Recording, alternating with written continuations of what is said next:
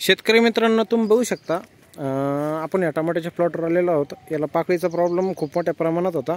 पण हे आपल्या कृषी सेवा केंद्राला जोडल्यानंतर तुम्ही बघू शकता यांची जी नवीन कॅनोपी आहे याला कुठल्याही प्रकारचा डंक नाही आहे आणि हा जो प्लॉट आहे आज पूर्ण पाकळीमुक्त आहे. आणि तुमच्या प्लॉटला जर टोटा अपसुलोटा जर असेल तर आपल्या चॅनलला लाईक आणि सबस्क्राईब करा आणि आपल्या कृषी सेवा केंद्राला भेट द्या.